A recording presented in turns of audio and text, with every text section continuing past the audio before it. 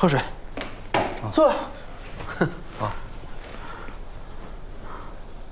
局长，你今儿有点不大对劲呐。怎么不对劲了？说不上来，就是感觉客气的有点过头了。你看，还一直笑，笑得我心里直发毛。看来啊，这直觉这东西还是很准的。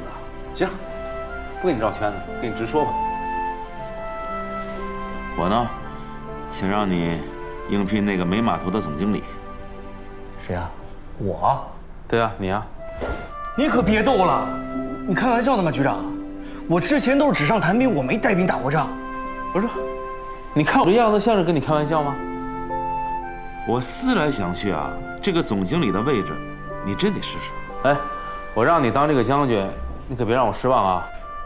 哎呀妈呀，局长啊，你也太抬举我了！一年一千万吨的中转量，这这不是闹着玩的，这没有金刚钻谁敢揽这瓷器活啊？所以啊，我希望你挂这个帅。要我看啊，你手里就握着这个金刚钻。那谁？嗯，来说。嗯。哎，你说这个江河呀，是真能折腾啊！那搞什么竞聘？他非拿煤码头开刀，这说明煤码头举足轻重啊！陈经理，你应该感到荣幸才对嘛！老弟，你就别拿老哥开心了，我愁着呢。嗨，有什么好愁的？他江河不让咱们好过，咱们也不能让他安生。说实话，前些天我就料到你会有重拳出来。煤码头突然换将呢，也在我的预期之中。但是你突然让我参加竞聘，你这有点太不按常规出牌了吧？这常规不就是用来打破的吗？嗯，而且这深化改革，就是创新思维，这不是你在一篇文章里自己说的吗？哎呀，局长，我谢谢您还记得。这不打破常规，怎么能有思维创新？我让你竞聘这个煤码头总经理呢，那也是因为按照常规来说，就那个码头根本没有率先突围的可能性。你要具备这种创新思维的能力，你怕什么？首先呢，我得表个态。不管我参不参加竞聘，我都谢谢您对我的信任。但是，有些话我得跟你说明白了。煤码头可是咱们东江港的经济命脉。现在煤码头情况那么复杂，一旦失误满盘皆输，你就敢把这么大的重任交到我手上？我怎么不敢？我以前可没具体接触过业务啊。不就是一千万的中转量吗？啊，没那么遥不可及。我给你算一算，你一听就知道了。哎，朱局，嗯，这一千万吨的中转量，可不是一口气吹出来的。没长得三头六臂，谁敢接这个唐山月？嗯，我看谁敢竞聘这个经理？嗯，说的有点道理。哎呀，我看这个江河啊，开场锣好敲，嗯，收场戏难唱。不过老陈，你光这么抱怨没没有用。竞聘的事你得动动脑子。朱局，我能有什么办法？啊！你看你那没出息的样子，这有什么难的？我是光脚不怕穿鞋的。你们看着啊，我要敲锣打鼓，给他江河唱出好戏。不畏强权，永不言败。永不言败。嗯，竞聘会上，我为你们擂鼓助阵，啊，摇旗呐喊。好，日后成功了，我给你们庆功。朱局，你瞧好吧。叔儿，这事包在我身上。好孩子，干干。那个服务员，买单，好的，再再拿三条软中华。拿个屁！不拿，不来，来。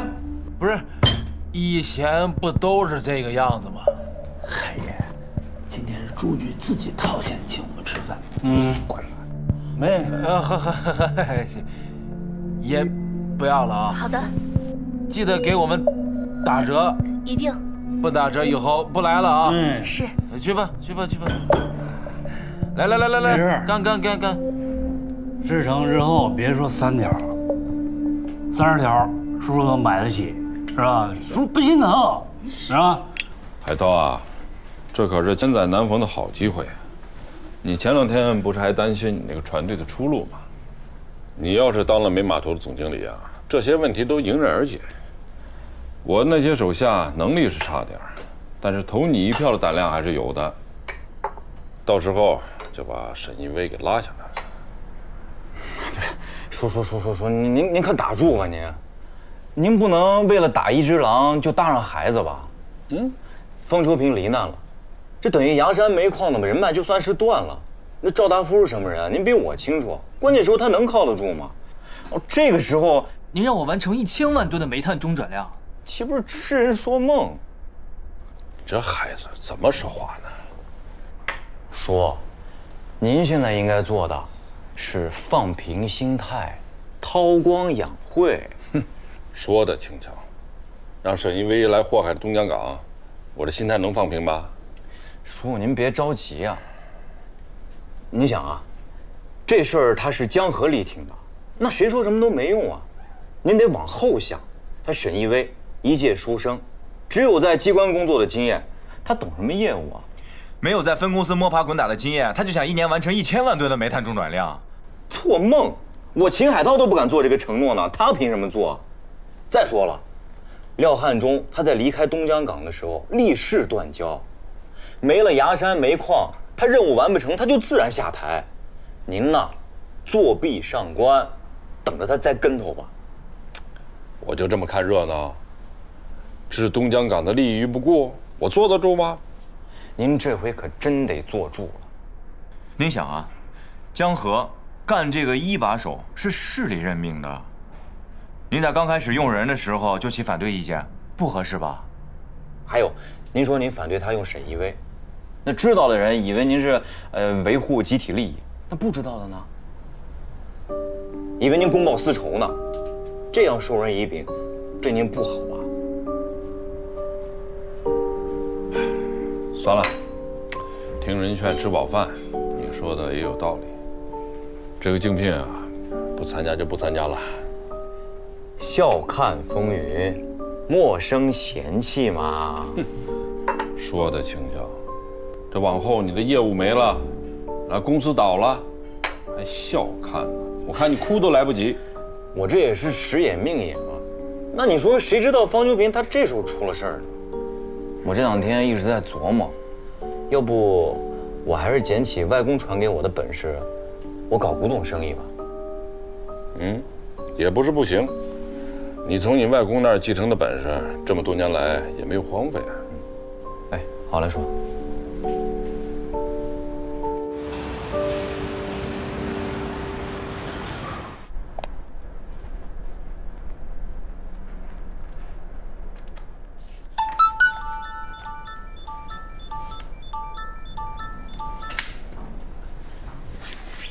哎，江涛，怎么了？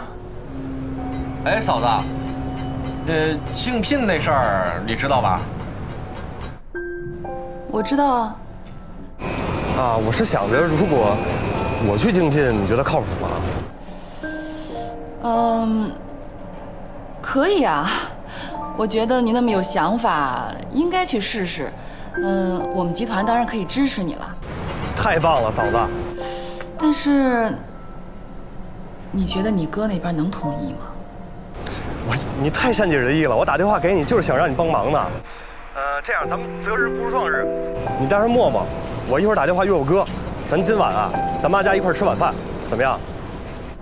哦，行。那就这么定了啊。嗯，一会儿见，拜拜。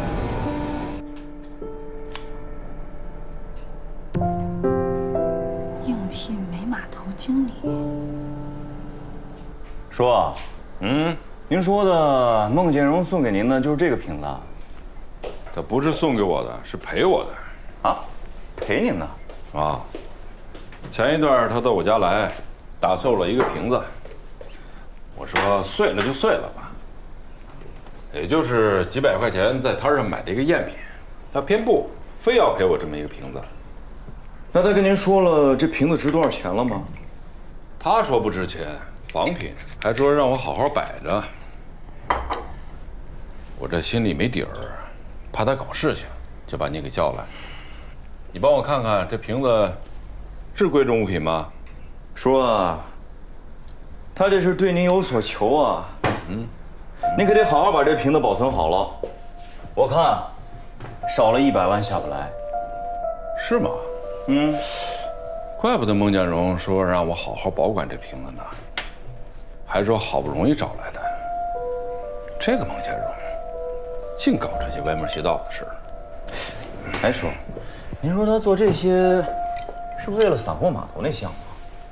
可不是嘛，为了那个项目啊，他已经催了我好几次了。这两个月局里多事之秋啊，我让他先稳住，再等一等。可他偏偏沉不住气。他这个时候搞这种事儿，我看他是不想干了。来，说，嗯。您跟这孟建荣在一起合作这么些年了，他到底哪一点让您觉得欣赏啊？你是我亲侄子，我不瞒你。孟建荣这个人，为人仗义，做起事来一向很得体。可是这件事情，我得好好训训他。这不是公开行贿吗？不行，我现在就给他打电话，让他把瓶子拿回去。哎，叔，别着急，嗯，这事你就甭管了，交给我办就行了。我替你把瓶子还给他。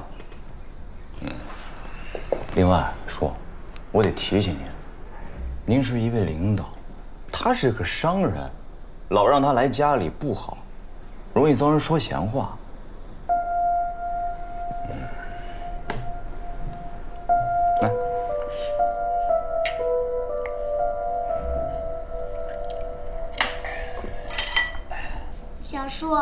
你给爸爸打电话，他说什么时候回来呀？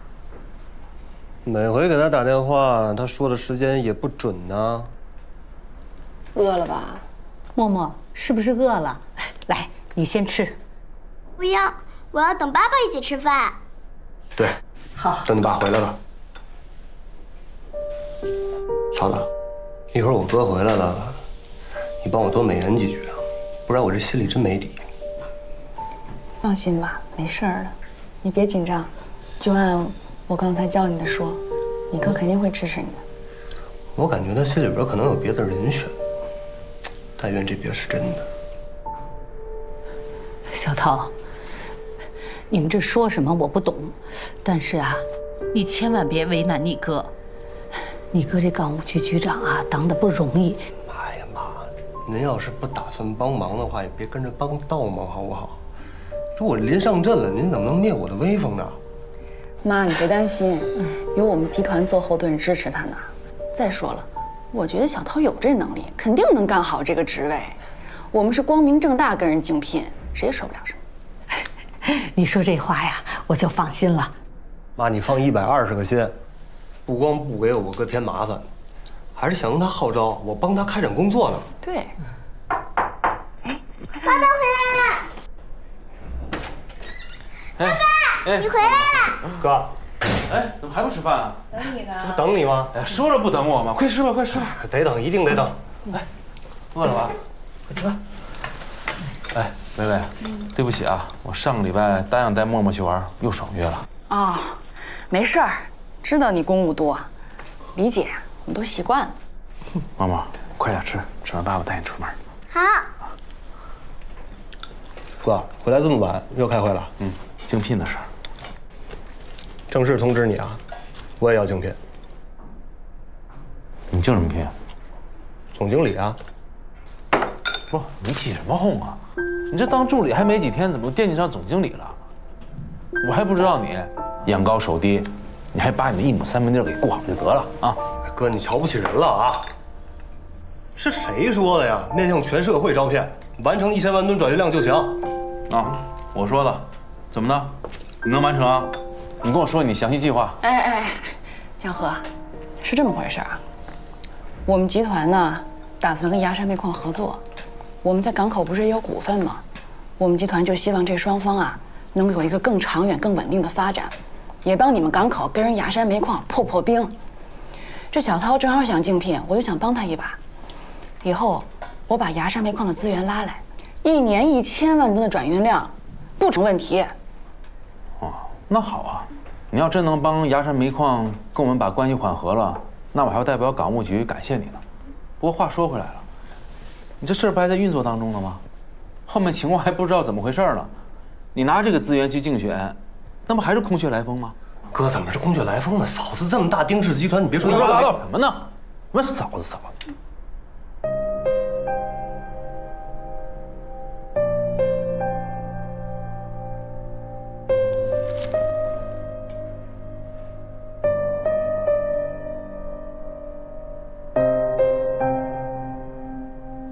氏集团在这件事情上不能公私不分。薇薇，我劝你，你慎重考虑。哎，我们怎么就公私不分了？我觉得小涛挺合适的，很有能力。他要是当选了，我们集团一定支持他。我们集团从来不会公私不分。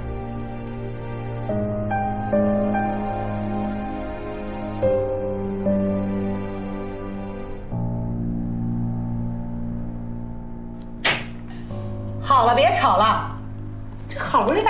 这好不容易大家伙凑到一块，好好吃顿饭，吵什么吵？有什么话回头再说，先吃饭。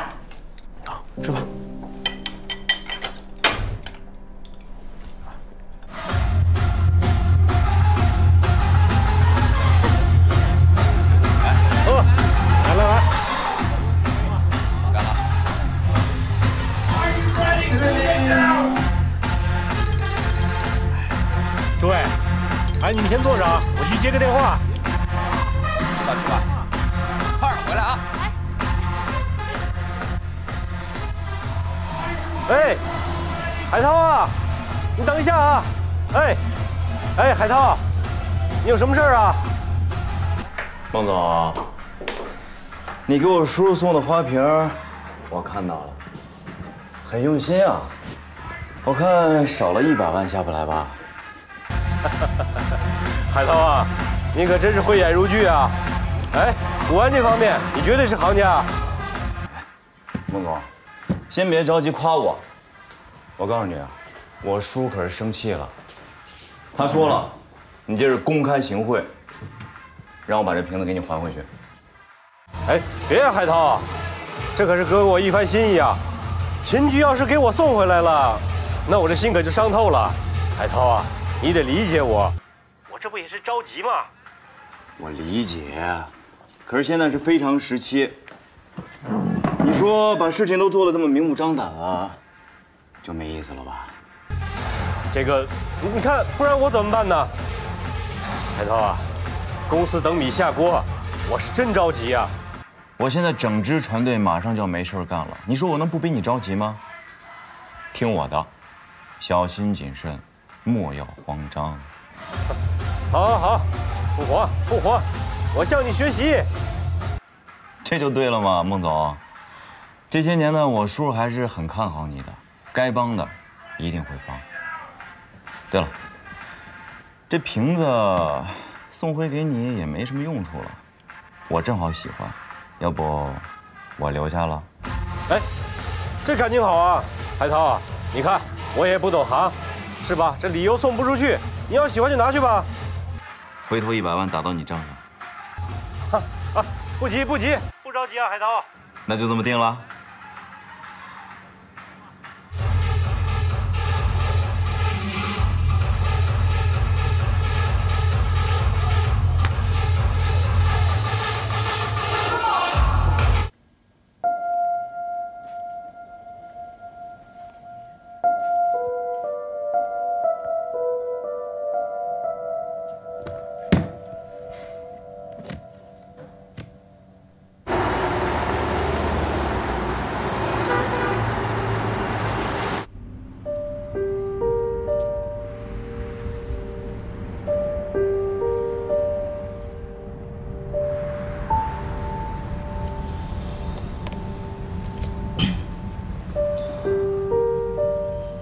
江河，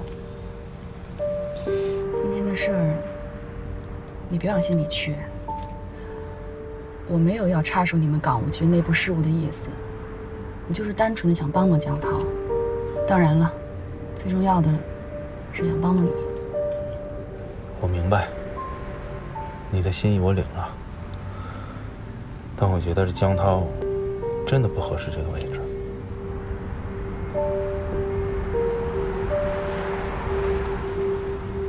江涛在煤码头工作的这几年，其实积累了一些经验，他有他的能力。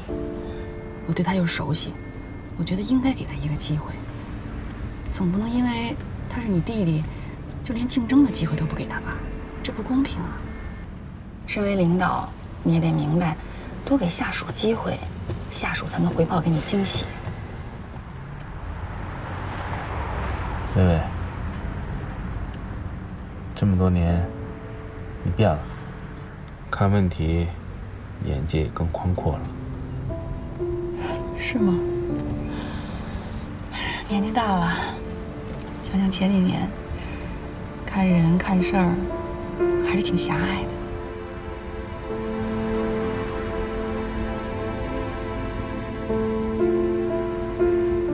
我以前看你，满身的毛病，对你哪儿都不满意。现在想想，时候太钻牛角尖了。过去的事就算了，不要再提了。我也有我的错。你呀，不要总把年纪挂嘴边。要我看，你现在看起来比以前还年轻呢。真的吗？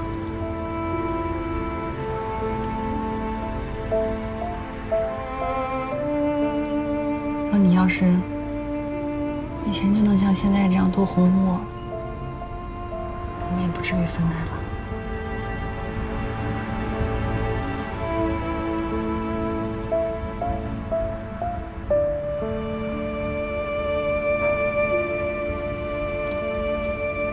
你把空调关小点吧，孩子睡着了。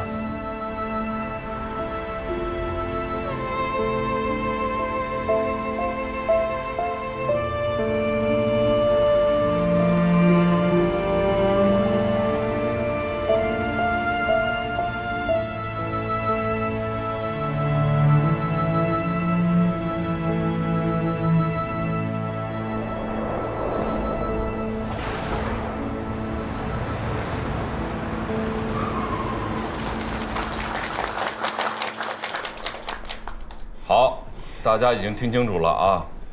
如果没有人竞聘，陈经理留任；如果竞聘人的这个理由不够充分，没有得到局党委的认可啊，那就维持现在的管理层格局不动，啊。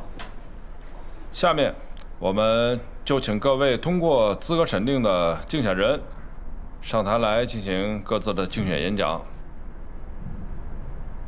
有请第一位竞选人陈一冰上台。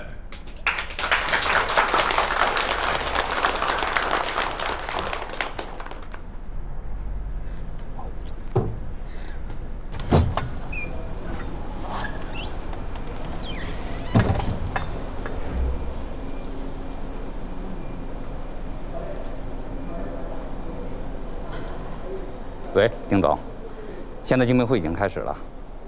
呃，现在是原来煤码头的陈经理在竞聘。哦，我知道了。等一会儿江涛上去竞聘的时候，你代表咱们集团大力的支持他一下。我明白。一有结果了，马上告诉我啊。丁总，您放心，这边一有结果，我第一时间就跟您汇报。哎，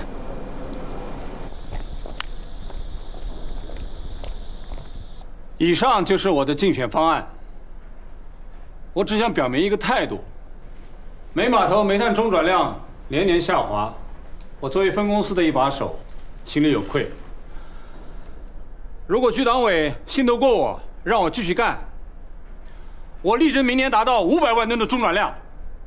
再多了，是我吹牛皮说大话。如有哪位能够达到七百万吨，我主动让贤。七百万吨也是一个了不起的发展啊！这等于是今年的基础上增长了百分之四十啊！稍等一下，秦局，我们党委会不是通过了这个竞聘规则吗？一年一千万吨的煤炭中转量，这是一个硬性指标。这七百万吨就免谈了吧？江局长说的对，没有这金刚钻就别揽这瓷器活了。完不成一千万吨的中转量，你就别在这费口舌了。玩人呢？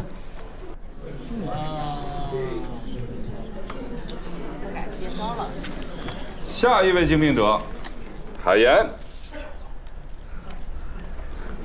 怎么又来了？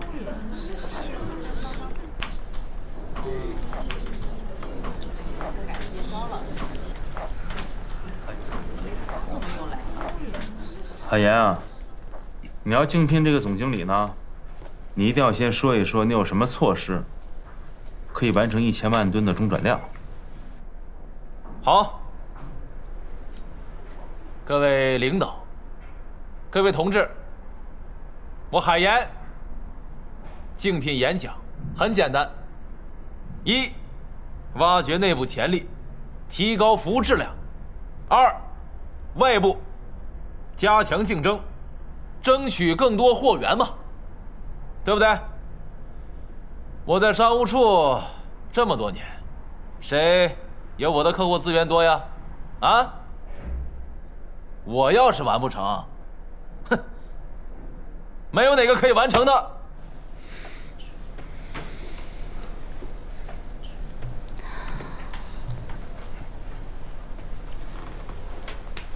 完了，啊，完了。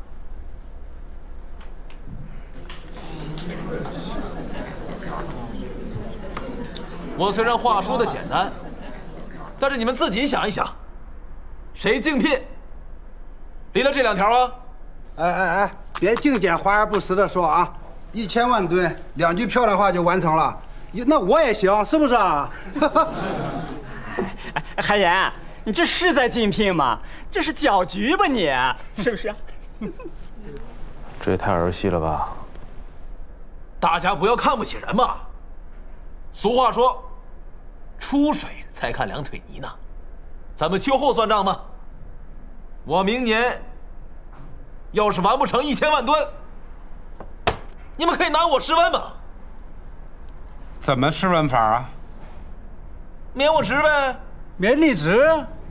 你已经不是处长了，还免什么呀？我看了，你就是不负责任、撂挑子。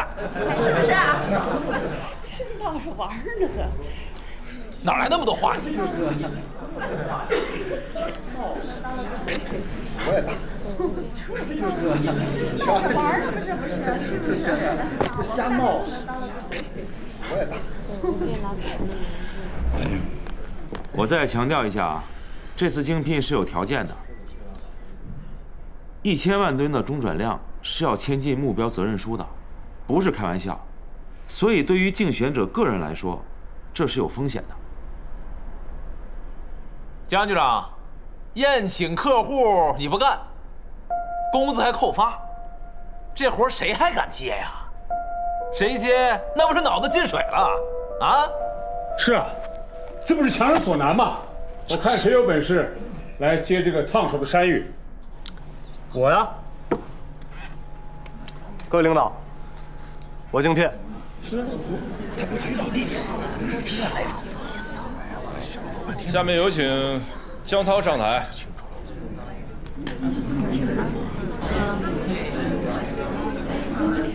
谢经理，哎，今年秋拍有什么特别的拍品啊？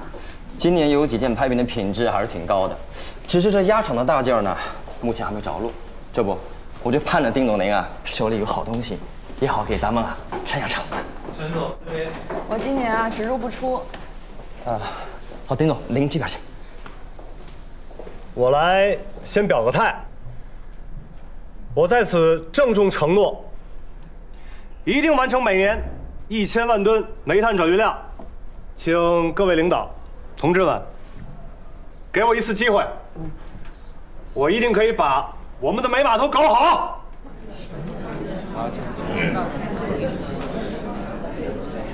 老姐，江局长搭这个台是为了给他弟弟唱戏啊，真是打仗亲兄弟，上阵父子兵啊！你别说这风凉话啊！举贤不避亲。再说了，这竞选规则大家都已经通过了，他既然符合条件，就可以参加竞选了。呃，江涛啊，你既然这么有信心，那么说说你的想法吧。好，你等我慢慢说。继续吹。哎，丁总，这是永兴下半年的拍卖目录，您过目一下。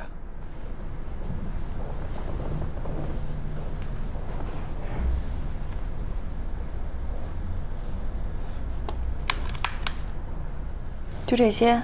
对，是的。离开港口的这些年呢，我一直在做物流生意，积累了一些经验和人脉。未来港口的发展方向是什么呢？我想，一定是一个全物流的概念。咱们东江港之所以现在落后了，就是因为这一点没跟上。那么现代的物流经营模式又是什么呢？我来给大家举个例子。电力企业，它是一个体量非常大的集团企业；煤炭的生产企业，也是体量非常大的。我们来靠什么把这两头抓住呢？你别放屁啊！一定不是简单的中转运输，一定要靠数字化信息技术上，我们为他们提供。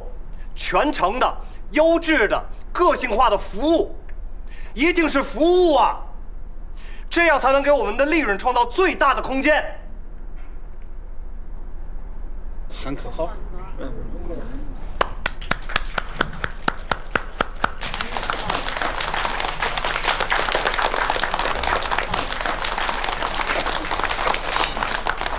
另外呢，我本人呢。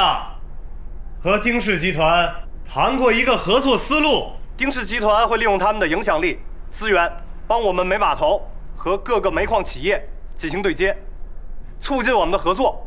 所以说呢，这个货源既然不是问题了，那么一千万吨的转运量，自然也不成问题。有什么了不起的？不就是靠裙带关系吗？是啊。我要是能有这么一个嫂子，还是前嫂子，别说一千万吨了，两千万吨我也能完成啊！有意思啊，有意思，啊有意思，绝对有意思。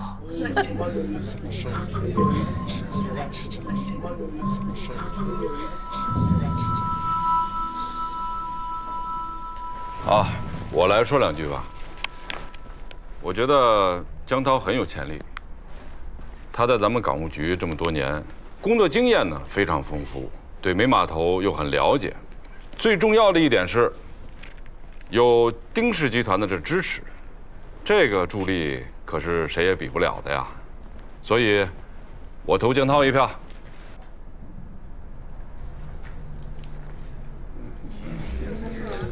也有道理。我有意见。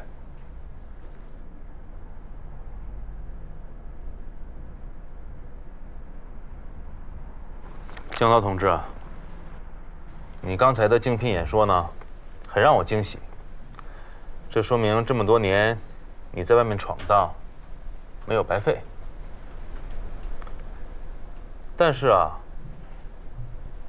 你说的还都是太流于概念。我还是那句话，你有什么具体措施可以完成码头的一年的中转量？我刚才已经讲过了，丁总有承诺呀，他一定。江涛同志啊。你别把这个丁总总挂在嘴边啊！丁总没有义务白白帮你。如果丁氏集团不能实现承诺，那你怎么办啊？你怎么完成你的承诺呢？你有什么备用方案吗？对啊，好，江局这个问题提的非常好。不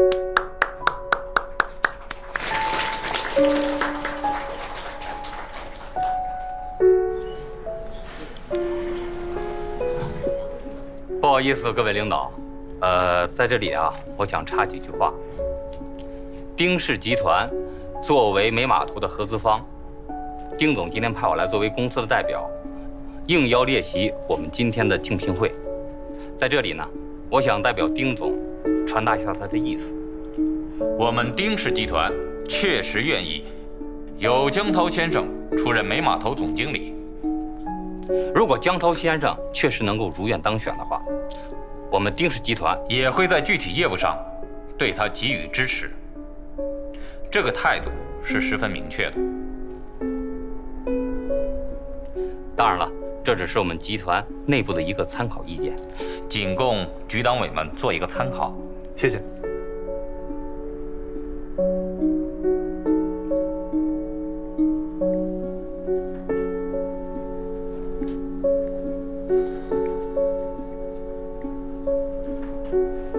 郭局，有话就说吧。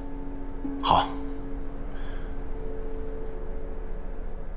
我有几个问题，想请欧阳特助说明一下。第一，丁总是以个人的名义推荐江涛呢，还是以集团的名义？第二，大家都知道，煤码头经理这个职务十分的重要。那么关于这个人选的决定，贵方是否通过了正式的会议讨论？第三，那是关于后面的货源提供，贵方是否又有明确的方案，还有实施步骤呢？请欧阳特助回答一下。郭局提的这几个问题非常好，呃，这得需要我们集团做一次开会进一步的论证。呃，今天我应邀列席会议，代表丁总啊、表达一下对江涛先生的支持。呃，当然了，丁总的意思也可以代表丁氏集团的意思。好的，谢谢欧阳特助的解释，我们都明白了。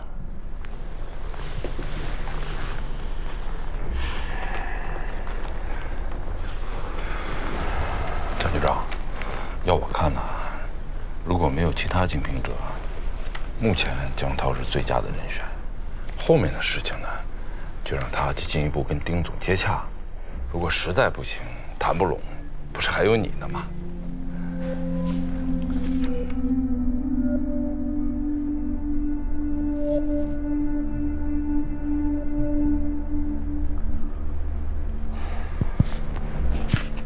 不是还有一位竞聘者吗？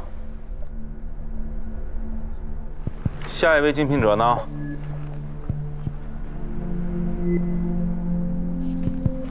下一位竞聘者呢？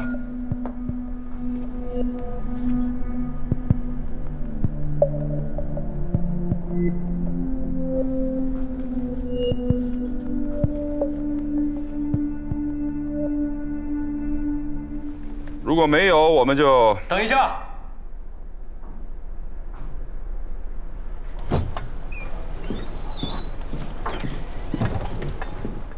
我参加竞聘。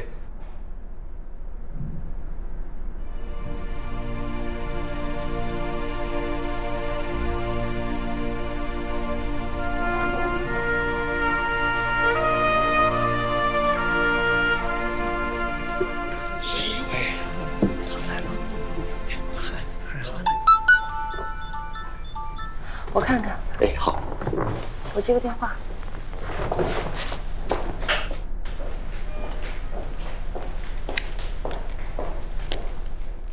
伊娜，你是有九眼天珠的消息了吗？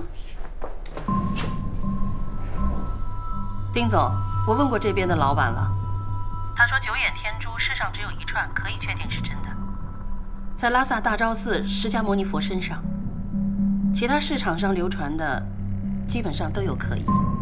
好，我知道了。其他东西有消息吗？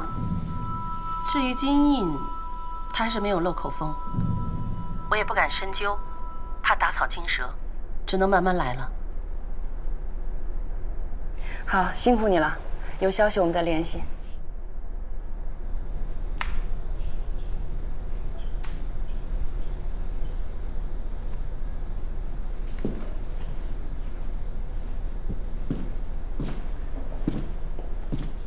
女士你好，方便聊两句吗？你有事吗？